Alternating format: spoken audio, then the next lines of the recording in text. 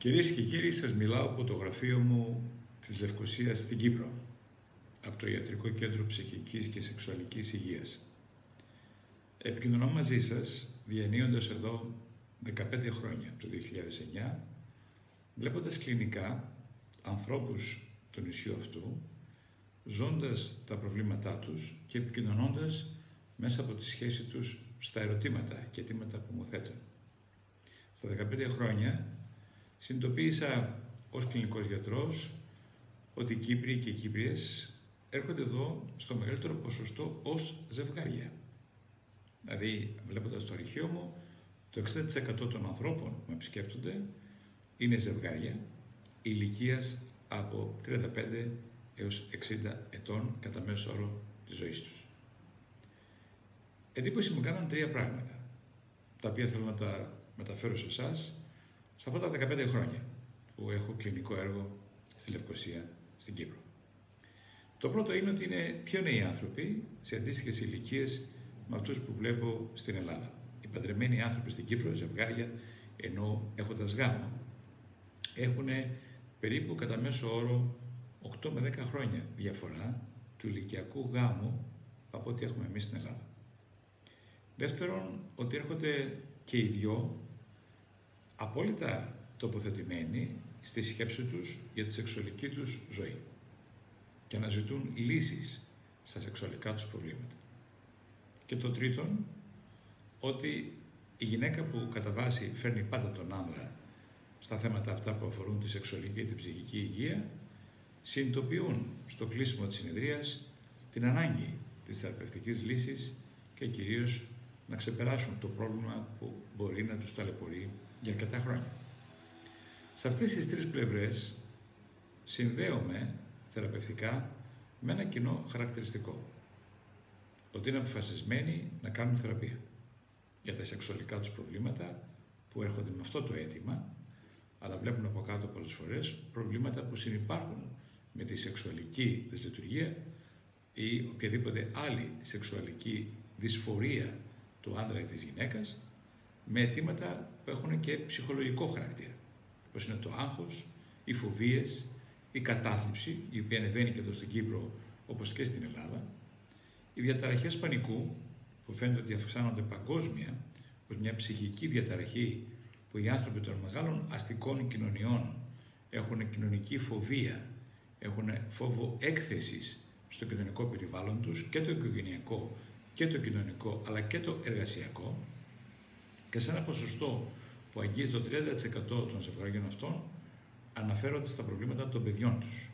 Δηλαδή είναι άτομα, άνθρωποι άνω των 45-50 ετών που μιλούν για τα προβλήματα της εφηβείας των παιδιών τους και τη σεξουαλική τους ζωή ή ακόμα και για τα προβλήματα του γάμου των νεαρών ζευγαριών, των παιδιών τους και πώς οι ίδιοι μπορούν να παρεύουν και να διαχειριστούν λύσεις στα προβλήματα αυτά. Μου κάνει επίσης εντύπωση ότι έρχονται πολλοί άνδρες για σεξουαλική στιτική λειτουργία άνω των 70 ετών. Αυτό χαρακτηρίζει την αισιοδοξία, τη θετική, τη θετική σκέψη ότι η σεξουαλική του ζωή τους ανήκει και δεν νιώθουν γερασμένοι και έχοντας χάσει πια το δικαίωμα στη σεξουαλική επαφή.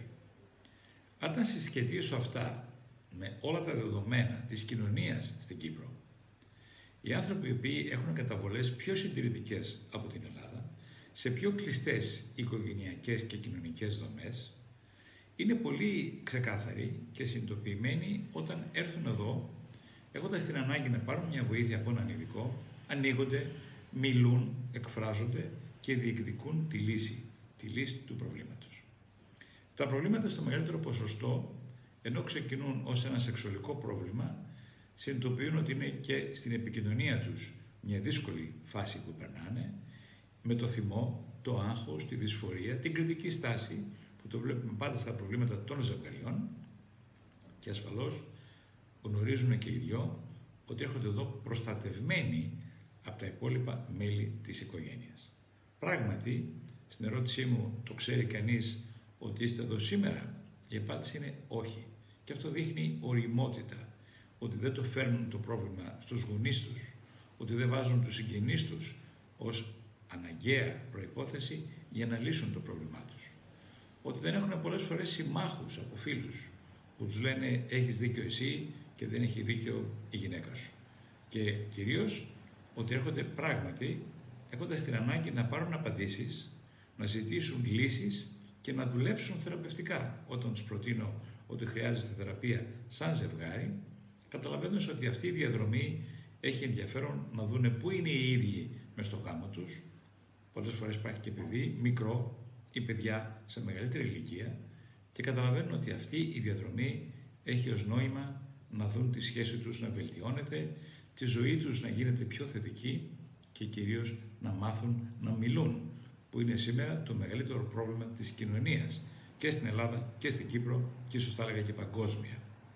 Η ψηφιακή τεχνολογία και εδώ έχει επηρεάσει πολύ τη ζωή τους.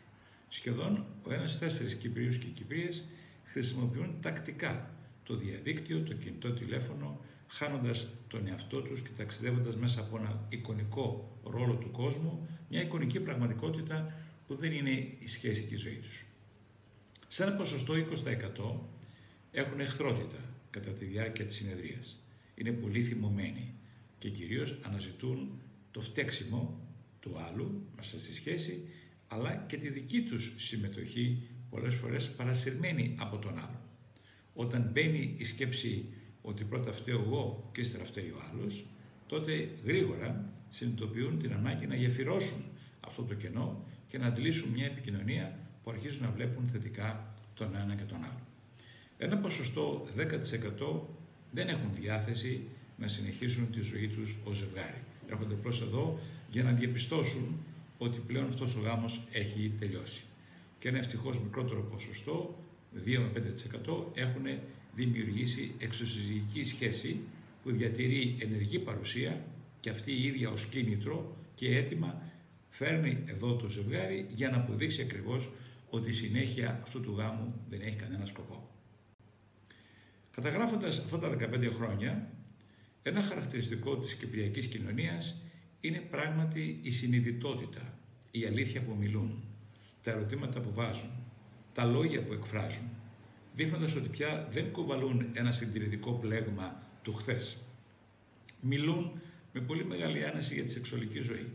Και αυτό το ομολογώ ως Έλληνας γιατρός σε όλα τα χρόνια μου, πόσο εδώ σημαντικά ανοίγονται και σε εμπιστεύονται. Και ασφαλώς ζητούν το απόρριτο που αυτό είναι και δικαίωμα αυτής της θεραπείας.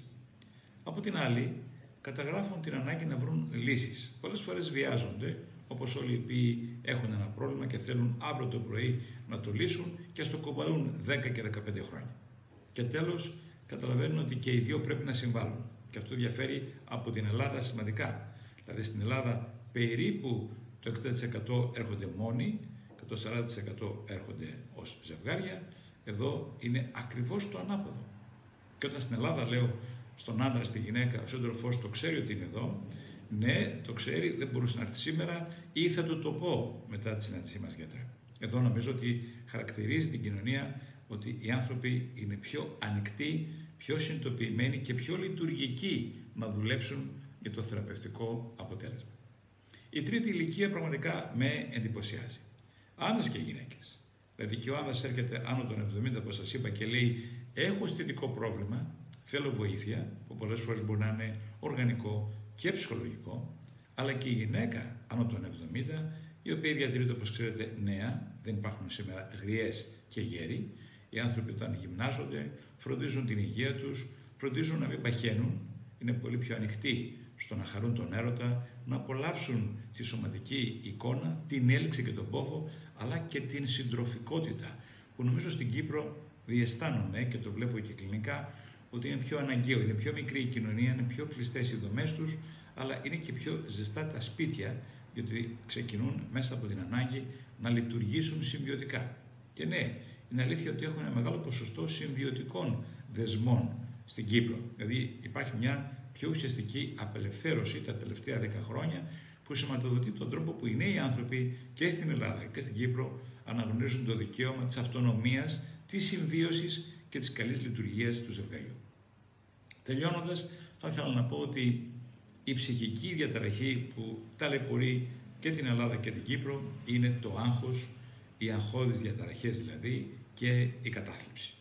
Μεταξύ αυτών των δύο εικόνων, τι βλέπω ως κλινικός ψυχίατρος, το θυμό, το θυμό που κυριαρχεί, το αίσθημα της έλλειψης διάθεσης, της έλλειψης χρόνου να επικοινωνήσω με τον άλλον, τη μη ανοχή, την εύκολη αντίδραση, τη χρέωση και ασφαλώς την άρνηση να δω το πρόβλημά σου μέσα από μένα.